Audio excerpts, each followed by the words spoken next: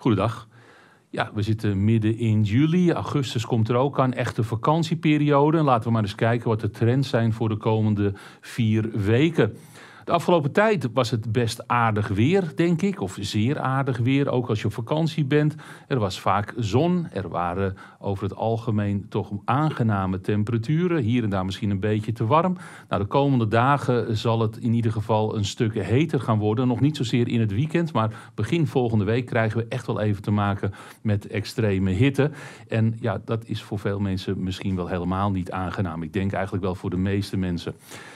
Komt allemaal door de hoge drukinvloeden die we de komende dagen hebben. Momenteel ligt er een hoge drukgebied boven het Verenigd Koninkrijk. En dat schuift richting de Benelux en dan naar Duitsland toe. Dat gaat de komende dagen gebeuren. Dat betekent dat we droog weer hebben met flinke zonnige perioden. En als het hoge drukgebied eenmaal ten oosten van ons ligt, dan gaat de stroming ook meer oost-zuidoost worden. En krijgen we die zeer warme lucht vanuit het zuiden.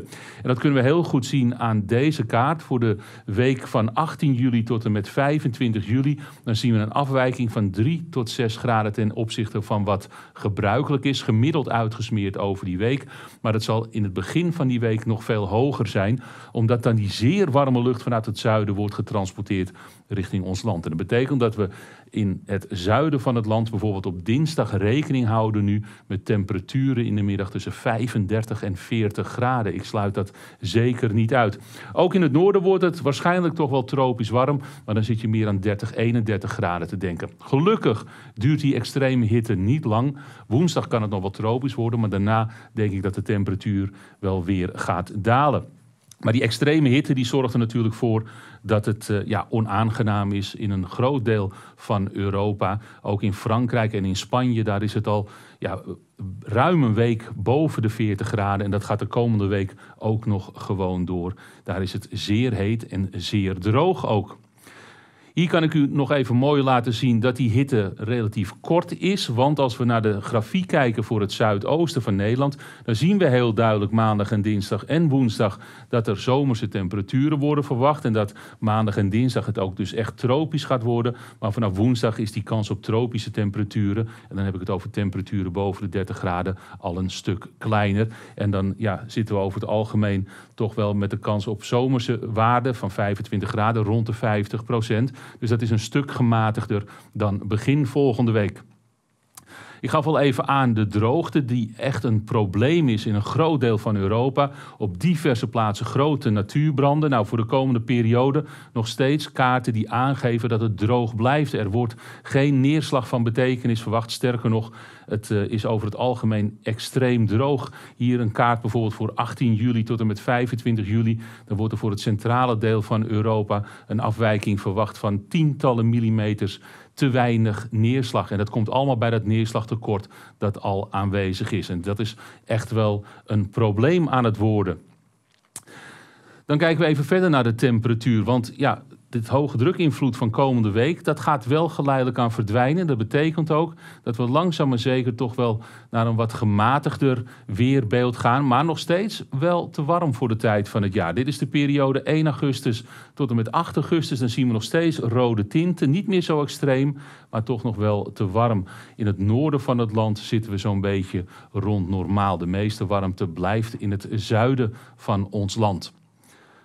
En dan gaan we eventjes kijken naar de luchtdrukafwijking, want dat vertoont wel een opvallend patroon. Want we hadden dus die hele duidelijke hoge drukinvloed. Nou, die is dan geleidelijk aan helemaal verdwenen. En dit is dan ook van 1 tot 8 augustus. Dan zien we eigenlijk helemaal geen roze tinten meer.